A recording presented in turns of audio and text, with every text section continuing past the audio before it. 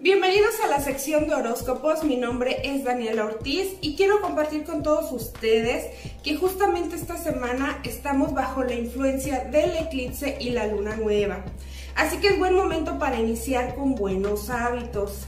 Se te recomienda intencionar un vaso con agua por las mañanas.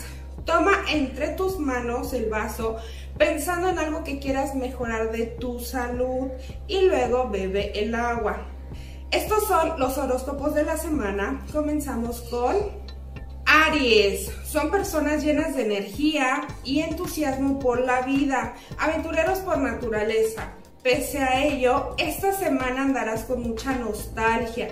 Vendrán a ti recuerdos del pasado. En ocasiones nos cuesta mucho trabajo soltar personas o situaciones con los que nos enganchamos. Pero lo más sano para ti es cerrar ciclos. Suelta eso que no te está haciendo bien y de esa manera verás cómo llega a tu vida esa estabilidad emocional que tanto estás necesitando. Tauro es una persona que tiene gran fuerza de voluntad, es práctico y decidido en la toma de decisiones.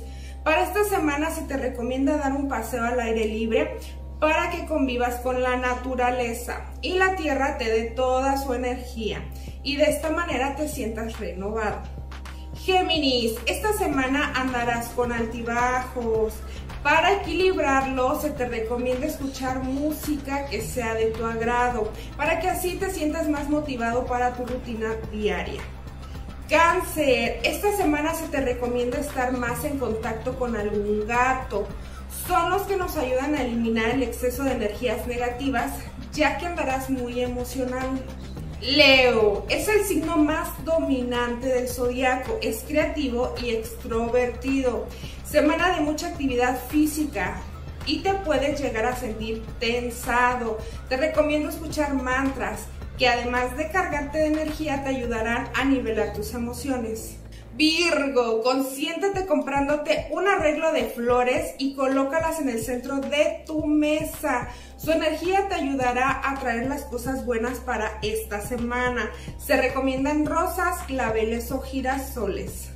Libra, semana en la que puedes manifestar lo que quieras, concentrándote con una velita aromática, consigue el aroma que sea más de tu agrado y enciéndela pensando en lo que quieras atraer, de preferencia que sea de color morado. Escorpio, semana donde te llegarán propuestas en el terreno laboral. Analiza bien para que puedas tomar una decisión correcta.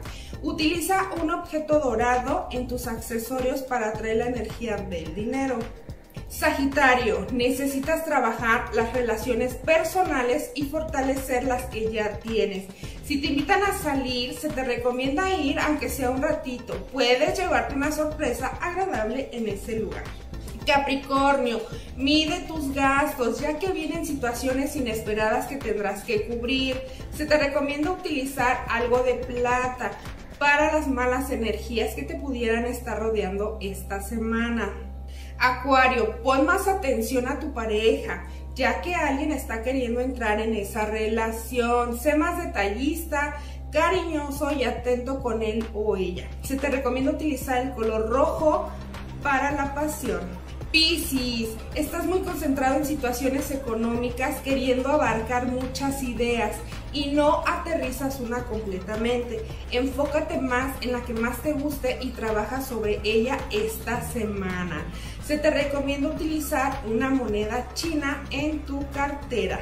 Recuerda que estos consejos debes hacerlos con la mejor intención para que te puedan funcionar y no olvides agradecerle al universo todo lo que te da.